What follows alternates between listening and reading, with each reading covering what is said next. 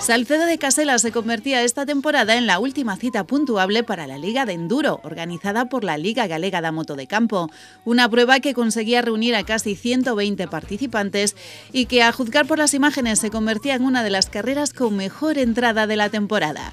Y es que las dos especiales creadas por la organización levantaban una gran expectación entre los aficionados, que acudían en masa no solo al tramo de Salceda, sino también al nuevo de Salvaterra.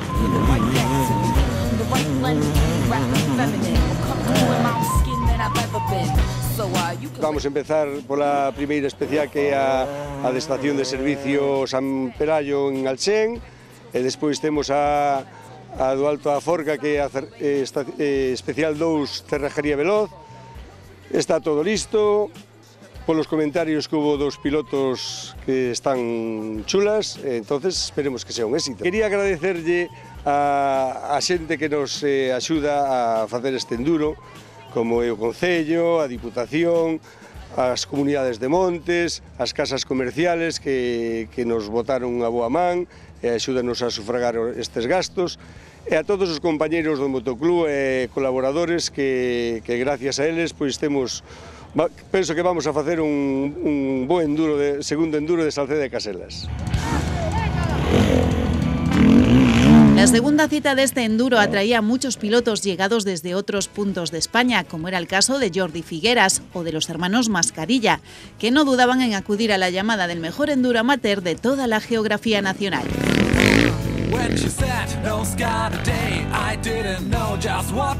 Buen ambiente, las especiales muy chulas, muy bonitas, el recorrido también y vamos a ver qué sale. Las carreras están muy, buen, muy bien montadas, el ambiente que hay, la gente, las ganas que tiene yo creo que es un gran campeonato y a ver si otros sitios aprenden de aquí. Venimos desde, desde Cataluña y pues nos invitaron y pues bueno, es un referente a nivel nacional para el nivel amateur. La organización un 10 y muy bonito todo, muy bonito el recorrido, las cronos, todo muy rápidas, técnicas también, tienen un poco, un poco de todo y la verdad pues encantados.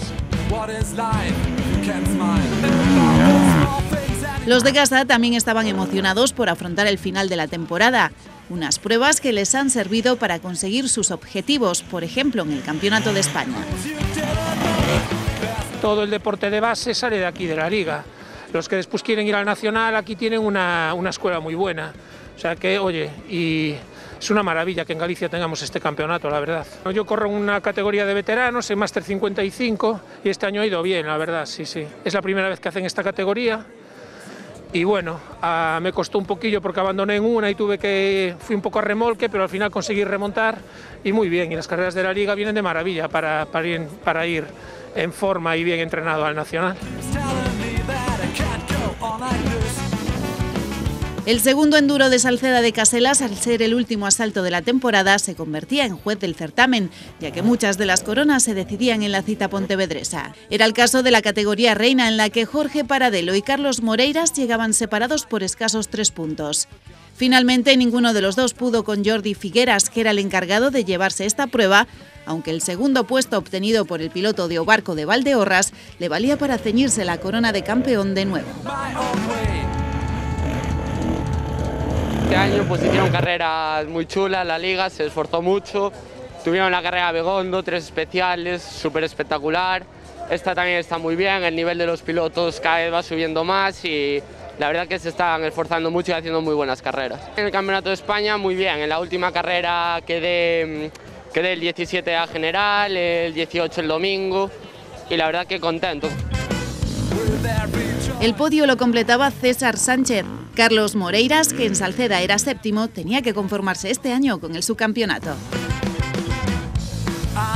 Eh, Jorge está en un estado de forma muy fuerte, hay rivales muy fuertes como Jordi Figueras, Pedro está muy fuerte, bueno, la liga este año ha hecho carreras como siempre, pero siempre se superan, eh, los rivales son muy duros, es muy difícil meterse dentro de los tres primeros en élite, hay que no fallar desde la primera crono.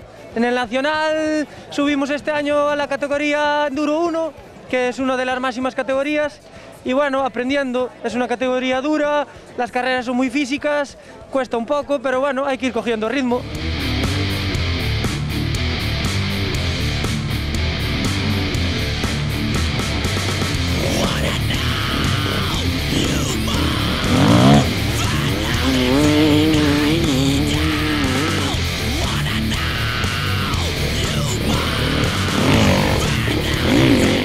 Óscar Torrado firmaba en Salceda de Caselas la categoría Open dos tiempos, de la que además se proclamaba campeón esta temporada.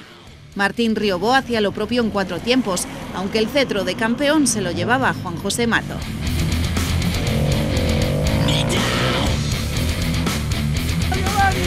En Open Veteranos, carrera para Giovanni Pérez y título para Benito Varela.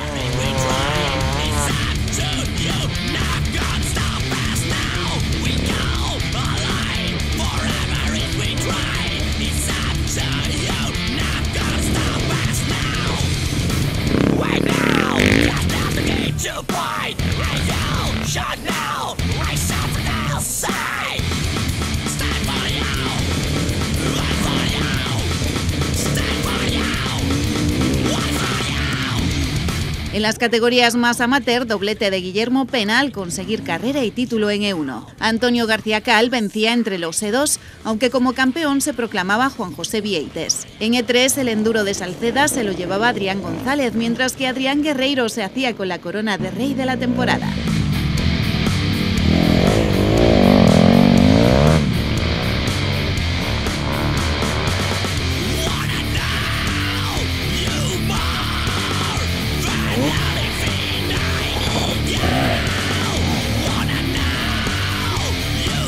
Entre los pilotos máster, carrera para José Luis Conde, título para Luis Miguel Montoya. Martín Iglesias vencía entre los sub-21, aunque como campeón se proclamaba Ushio Areán.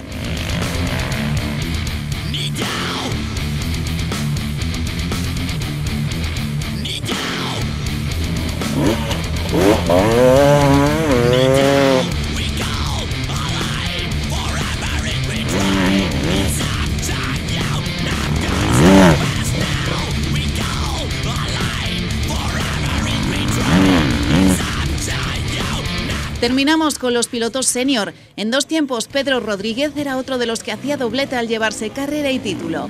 En cuatro tiempos, Pedro Fontán reinaba en Salceda, mientras que Marco Rodríguez se proclamaba campeón.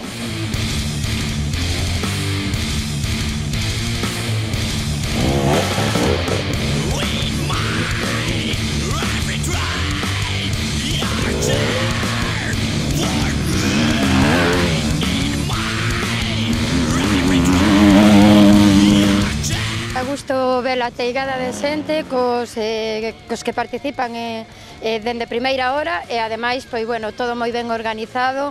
A verdade é que hai que darlles parabéns aos organizadores porque está fantásticamente ben. A hostelería estaba encantada con recibir eh, a todas estas motos hoxe aquí, o deporte de dúas rodas, e a veciñanza, pois, aínda que ao principio pois é un domingo, eh, cedo pola mañá, pero encantadísimos de, de volver a ter xente, de volver a ter eh, alegría nas rúas, deporte nas rúas, que creo que o necesitábamos todas e todos. A primeira foi eh, con un resultado maravilloso, esta, como podedes ver, eh, pinta que todo vai a ser así. Creo que ademais son eh, moi cuidadosos como onte, que era outra das preocupacións que podíamos ter dende o equipo de goberno ou dende a veciñanza, pero xa demostraron unha vez, vaise demostrar outra e Salceda pode acoller de novo e o fará eh, a terceiro enduro de Salceda Casetas. Mm.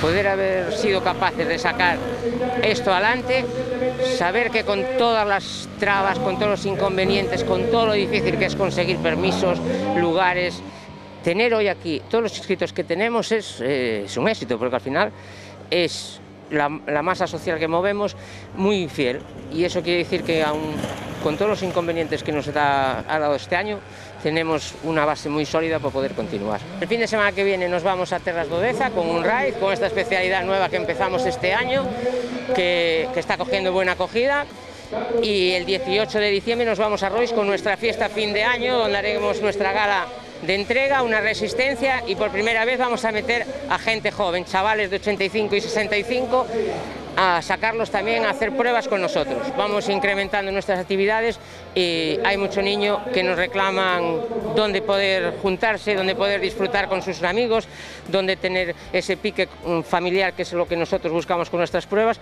y vamos a intentar darle esa cabida dentro de nuestros eventos.